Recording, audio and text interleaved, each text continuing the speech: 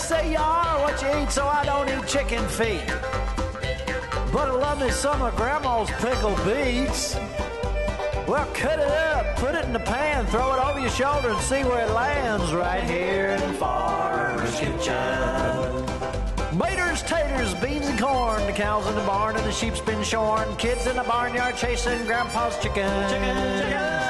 Spices, slices, cuts and dices, gonna slash your grocery prices right here in Farmer's Kitchen. Help you grow your garden good with recipes to suit your mood. Try some grub you've never tried before. Smash it with a wooden mallet. Gonna educate your palate. Right here in Farmer's Kitchen. In Farmer's Country Kitchen. We're gonna cook something good now. Hello and welcome to Tim Farmer's Outdoor Country Kitchen. Hello, Mrs. Farmer. Hi, how are You you? look ravishing as usual. Oh, wow, that's sweet. You know what? We have a fire going, and normally during our cowboy cooking segments, we would have a cowboy hat on and jeans and boots, but today we've got on cowboy flip flops. it's finally nice out. And don't Yeah. question our cowboy hoodedness. That's right. we have cows, and I still have my trusty steed Moses, which I ride off into the sunset right Mm-hmm. That's to his right. bowl of That's Alpo every evening. So, how dare question our cowboy? That's right. Surely I like your would. cowboy hat. Thank you very much. But you know what? We've got a lot going on around the farm. We've got some new stuff today. We're going to visit a farm where we're going to get some of our vegetables here. Isn't it nice to know that in today's day and age, you can go to stores like our favorite store or places where they raise Mm-hmm. their own vegetables and we know where they are and we know if we choose to do so, we can find those without any kind of spray or anything on them. And we That's choose right. to do that as much as we can. We can't be a thousand percent organic, but We you know, as best we can. Speaking of something a little bit different, today we're going to do for a side one of my favorite things in the world. I haven't had it for years. I used to have a friend that used to make me this all the time. Fried cabbage. I've never had that. I'm and looking forward to it. I'm You've never had fried no, cabbage? That's an old, and I love it. old fashioned Kentucky thing. Um, it involves bacon grease I like and that. cabbage, and we'll talk about all that later. But first of all, since the dawn of mankind, since man started settling in one spot, they- they started domesticating rabbits. Mm-hmm. And up until the last 50, 100 years, that was a regular source of protein. Now, when people started making cartoons and regular feature length films with animals speaking Uh-huh. became popular, um, you know, rabbit was a regular part of people's meals, whether Right. you hunted it or it was domesticated. Right. It is delicious. Yes, it's it healthy. Um, it's not that fatty at all. It's very good for you. What a good source of protein. Now, what is this? We got from Mac, and we'll go visit him later. But that's garlic. looks like an onion, but it's garlic. I guess you could call that a garlic starter before it pods It's out. not. That's it looks like an onion. Wow. Smells amazing. Smells like garlic. It is. It's because, as, as he garlic. said, it It's is garlic. Now, tonight we're going to use a cast iron Dutch oven for our rabbit recipe. Now, we're going to start out with our cast iron in a skillet up on top. What I'm going to need is probably two of these onions. And Okay. instead of cutting them in little pieces, let's cut them in rings, Okay. thin rings. We've got some fresh mushrooms. And we decided to go with shiitake on this. We're going to tie together our little bit of parsley, a little bit of thyme, a little bit of oregano, and we're going to make a wonderful rabbit dish, quick and easy. Not that quick, an hour maybe total Okay. time. Now, again, rabbit is delicious. If you don't have any rabbit and you want to do this with chicken, you can do this just as well. But right up the road, our buddy at Ghost Mountain Rabbitry furnished us with some rabbit. We went up there and bought it and we traded around. I'm telling you what, there's nothing like fresh rabbit. It's absolutely delicious. If you've never had it. Tell you what I'd like, Nikki, if you will, Okay. if you'll cut me up some celery. All right. I'm going to get me a skillet going here in a minute with some butter in it, third to a half a stick of butter. So I got a bunch of onions and some celery. And let's take a little bit of that garlic, cut up in here too. All right. A little bit of our garlic. At this point, Nikki, if you'll get my 12 inch Dutch oven mm-hmm. over here, I'm going to lay some coals down, start getting it hot. We're going 400 degrees today, which is 10 on the bottom, 19 on the top. All right, so now go ahead and heat things up a bit. We're gonna go ahead and, ahead and take most of a beer. Now this is New Belgium Amber Ale. So we're gonna go ahead and get our liquid hot and I don't know, a little over a cup chicken broth. And if you don't do alcohol, don't worry. The alcohol will cook out of that. Promise you won't stumble down the stairs after you've had your rabbit. Let's go back to our onions, check them out. They're getting close. At the last minute, we're gonna toss those mushrooms in there and let them get a little, little bit cooked. Now, Nikki, if you will, I'm gonna lift the top If you'll dump that into here, we'll let them start cooking.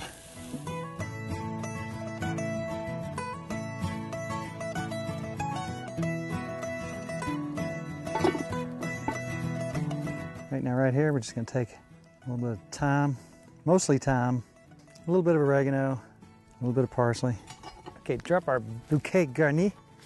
Boom. Let's go ahead and put a little bit of salt. Let's actually put a lot of salt and a lot of pepper. That's good. Uh, well, a little bit more than salt. And some pepper. A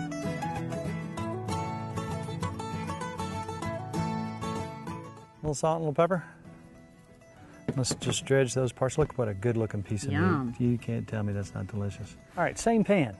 Let's not dirty anything up. We don't have to. All right, lightly dredge these in flour. Drop it in.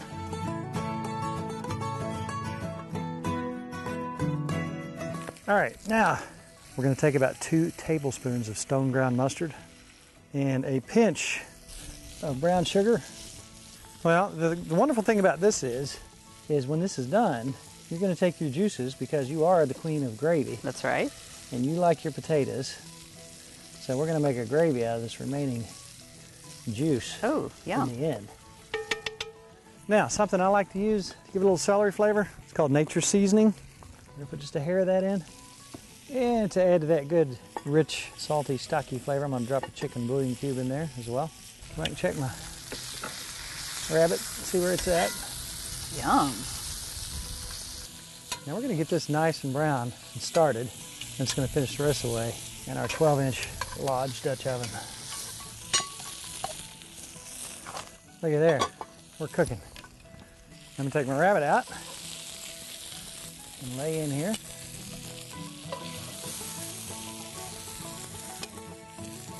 And I'm to check this in about 45 minutes, but I'm anticipating about an hour's worth of cooking. And because it's sat there and cooked a while, I'm to reinforce some of my charcoal. While this cooks for about an hour, let's go visit with our friends from Elmwood Stock Farm. Mike is back.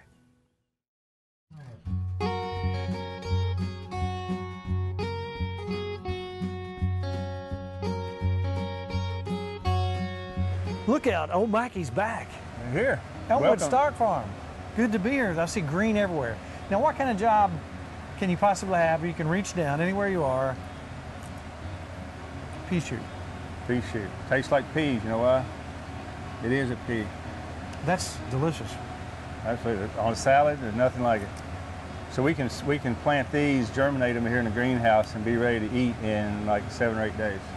Wow. Now you have, I'll explain to people who don't know, what is the CSA? CSA is Community Supported Agriculture. Customers pay us now in the beginning of the year. Then we uh, have a contract with them to deliver whatever seasonally available all summer. So they don't know what they're going to get. We don't know what they're going to get till the day before. But so we take all of this stuff um, and we'll deliver. We have drop-offs in Lexington, Frankfort, Cincinnati. I wanted to see how this whole thing starts. Here we are in a greenhouse with kale and lettuce and what is this, parsley and Celery, celery. Swiss chard, This is where it all starts. lots of kale because we want we kale every week. Kale's the, the magic food, isn't it? It is. You're in an interesting line of work, but anything that's interesting or fun usually involves a whole lot of labor. As we look at, I see cows coming in. I saw sheep. We saw turkeys. You know, it's not just about plants. You raise meat as well, Right, And- absolutely. and, everything's organic. Everything's certified organic. There's no, it hasn't been a single Saturday at the farmers market that a customer hasn't come to our booth and said, "My doctor told me to eat the food that you grow, whether it's grass-fed beef or organic vegetables, because whether it's toxins or whether it's uh, antibiotics or the, whatever, the wrong kind of fat in meat." So we say, sure, it's hard to eat 100% organic 100% of the time. But if you do as best you can, then you can relax a little bit when you are at a restaurant and you just don't worry about it for a little bit. We were talking about onion sets. These are not your typical onion sets. What does that mean when you're when you're planting onions? So you, we can't get onion sets, those nice little bulbs that you just can plant very easily. So we have to get organic seed. So someone individually flicked the little seeds into those trays to for us to have onions, and they won't be ready when everybody else has spring onions. We're still just they'll still be in a greenhouse. Wow. Uh, but this fall they'll be awesome. Now, being in this line of work, I mean, we're surrounded by life. We're surrounded by tomatoes and everything. Everything's coming along wonderfully. I'm doing my own meat. I'm a carnivore, hardcore. Right. Good, good for you. And the, the cows have taken over my garden spot. So I'm going to do like some tomatoes and stuff like that. But you know what? I'm going to depend on you Great. for my vegetables and stores around that sell vegetables Sure. from folks like you where we Right. know where it came from. Right. So what's the chances of us getting a little tour today? Show, show us what's going on. Let's go look. I'm ready. Go. Let's go. Okay, so this is a seed room, a busy little room where it starts off over here with the dirt, then it slides towards you, then we see a tray. Right. Then what's in your hand there? So this is a vacuum seeder. There's a little hole pattern that lines up with the holes in the, the cells of the tray. So you roll the seed around like a game, and when each one of these little holes has a seed vacuum stuck to the hole, the rest of the seeds fall down in this little tray. When you flip it over, break the vacuum, the seeds all drop down into the tray one, uh, together, and then you can move it on to the next And one. dead center as opposed center, to being right. wow. Right, so we can do, these are two, those, these, normally the styrofoam are 248s, and we can do 248 seeds as fast as you can get them to, to line up on the tray. Wow. Then off to the germination room, Off which the has room. which has moisture and Uh, hot, moist heat so that they all germinate at the same time. Then when they go to the greenhouse, the hot and cold pockets of the greenhouse, uh, we get more uni- better uniformity if they all germinate than no matter where they go in the greenhouse. Because you like that uniformity when you're using a transplanter. If some are tall and some are short, some will get buried or some will be too tall and get hang up in the equipment. So we like that uniformity when it's time to plant in the field.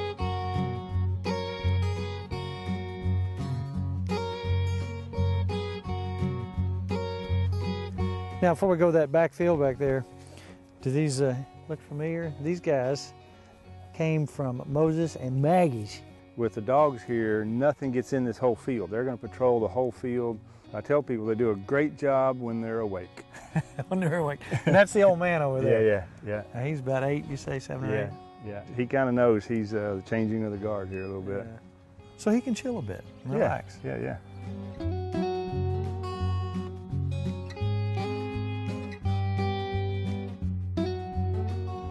I see kale, and what else is out here? That lettuce, uh, several kinds of kale, several kinds of lettuce. Uh, this is the early transplants that we got out. Uh, the weather's been kind to us this year. Um, big storm that brought this tree down. Uh, didn't we got hail on the south part of the farm, but we didn't right here. Wow. So we just dodged a bullet right there. But so we get these plants out. They've already gotten acclimated. They'll the sun, the beautiful weather we're having today. They'll just jump in the next two Mhm. weeks. Now, let's talk about something I found fascinating. You talked about, I see your cattle over here, and I asked you, what do you do if it's organic about fertilization? And you said, We're on an eight-year crop rotation. So the field behind us here that we're laying the plastic, that's where the long feeder. It's been an alfalfa for five years. After five years, we plow it. The alfalfa is a legume that takes nitrogen from the air. It feeds the soil, feeds the plants. When we turn that under, it's called green manure.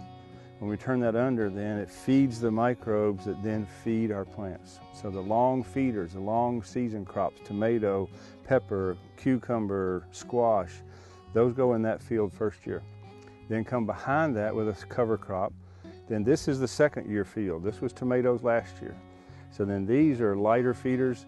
Um, we're still on 38 inch rows, so there's plenty of soil for the roots to find the nutrients.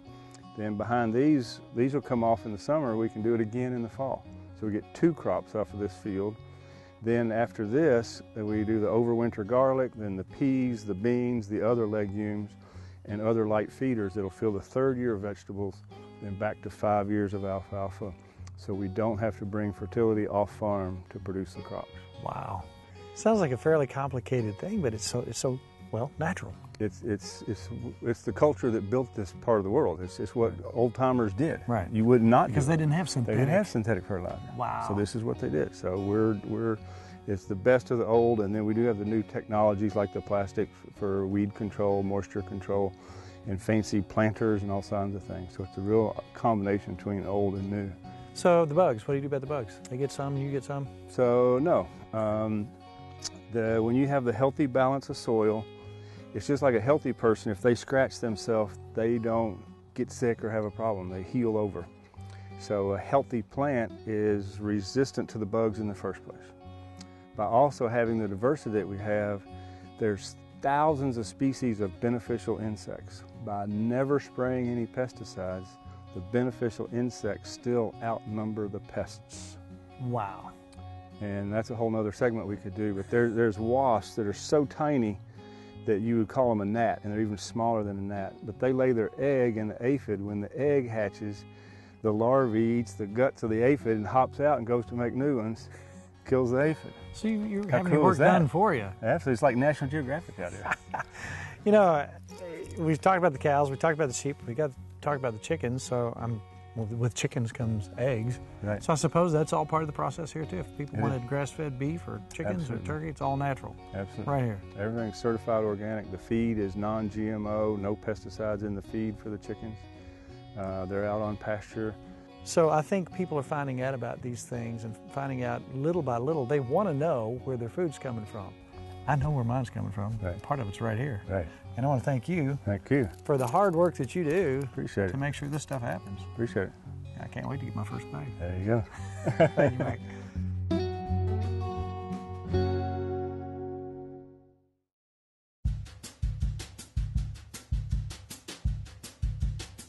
Alex is back. What you got for us today? This is called a category eight. It's very simple, just a few ingredients. I like simple. It's very easy. People have accused me of being simple. oh, now, Tim. All right, so what we're gonna do, fill it up with ice, of course. Mm-hmm. I like to use a copper mug for this. You don't have to. If you have a julep cup, that's fine. You can use a regular glass. This just gets it very good and frosty. So what I do is start out with some spiced rum of your choice. Put about two shots in there, so that'll equal about three ounces. All right, so we've got our spiced rum in there. I use a ginger infused simple syrup that I make. Very easy, just sugar, water, some ginger root, and some ginger ale soda if you'd mm-hmm. like. And I like to make this drink pretty sweet, so I do about two or three teaspoons. And I top it up with the ginger soda. And I always love to squeeze an orange in the summer. Perfect Give patio drink right there. And there we have it, Category eight. category eight.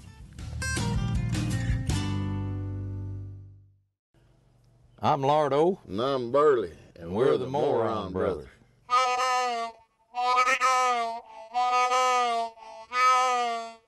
Got a frog in my throat.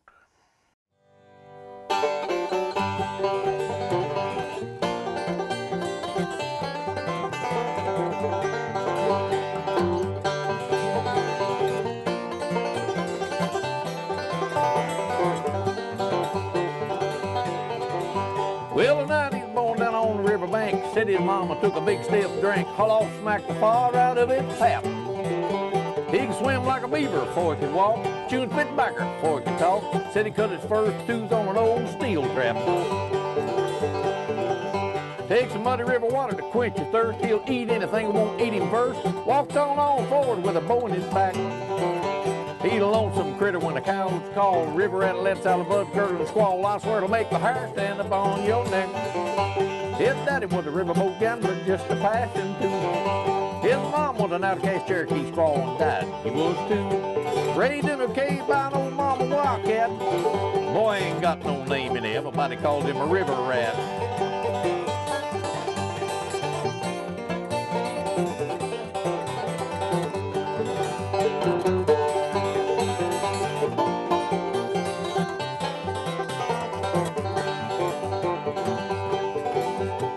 Remember when River Rat came to town, he had a love on his mind, looking around, and the men and the women and the kids run for their life.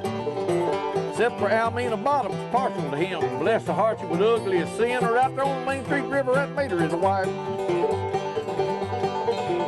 Now up in them Tucker River cliffs, they say River Rat still exists. When the moon is full, he cries out for his mate. There's been several people went to look for him. Some of them ain't come back again. Said the river rat cut them all up for catfish bait.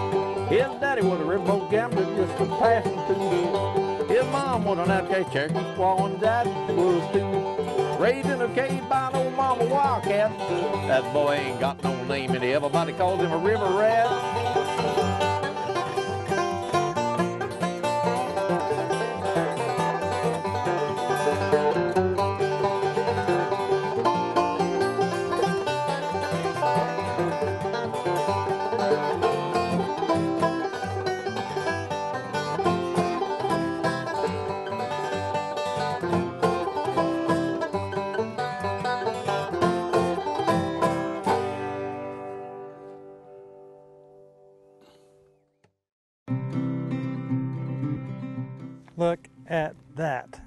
Now we're gonna leave that as it is. It's done.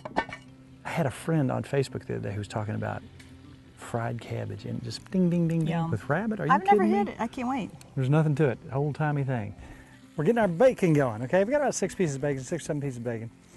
And we're gonna fry this up till it's done and get some bacon grease. Now that's the same pan we fried rabbit in, it doesn't matter. A little bit of that flour in there, Makes we'll it only good, thicken it up yeah. later. While the bacon's going, we're gonna talk about what we're gonna do here. We're gonna take this head of cabbage, we're gonna take the first couple layers off. We're gonna cut it up into small, smaller pieces so we can fry it evenly. We're gonna take this onion, cut it up into small rings, kind of like what we did for the rabbit. Okay. We're gonna take the bacon aside once it's done in there, leave most of the grease in there, and we're gonna turn this cabbage over and over and over.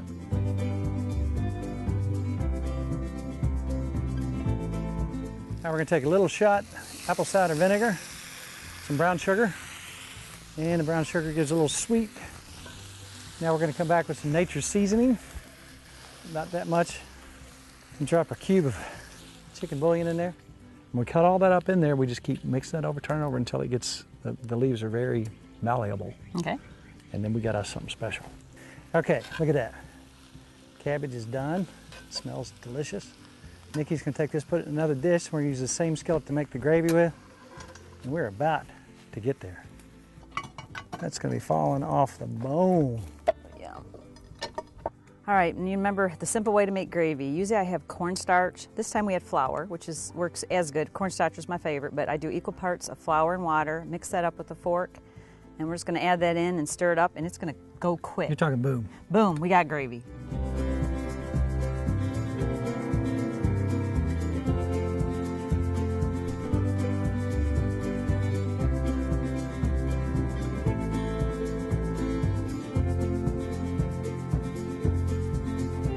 Now look at that.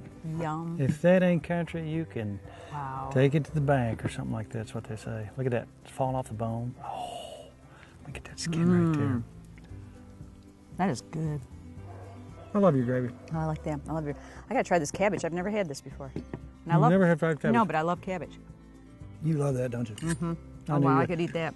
This is one of my new favorite meals. Yum. You want to start raising rabbits? Maybe no. Let's just buy them. It's easier. Mm. Let's go to John. I'm telling you, it's just delicious. Now we're delicious. starving. We had a lot to do on the farm today, but man, oh man, it was worth the wait. And you can tell it's falling off the Mm. bone here when you see that bone sticking out there and it's slid off. It's time to eat. Now, if you'd like other recipes, where would you find them, Miss Farmer? I go to timfarmerscountryKitchen.com. Would you I'm really? trying to eat here. Oh, Yeah, I'm but that's where. I go. TimFarmersCountryKitchen.com. We have gabillions of recipes on there, how-tos. And if you're not our Facebook friend, what should you do? Go to our Facebook page and I would hit like. Instantly, boom, you're on. We can talk about recipes. We can have fun. Other than that, Miss Farmer, at this time, it's all about Good times. good friends. Good eats. I want to eat. We'll see you next week with a brand new Tim Farmers Country Kitchen. Mm. To order a cookbook, please call 502 319 0487 or email timfarmerck at gmail.com.